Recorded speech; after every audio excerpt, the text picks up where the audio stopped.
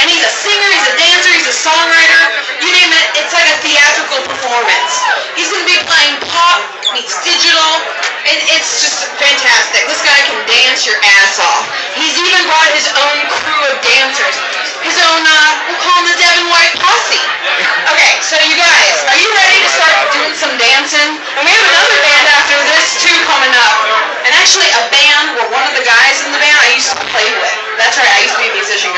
guys.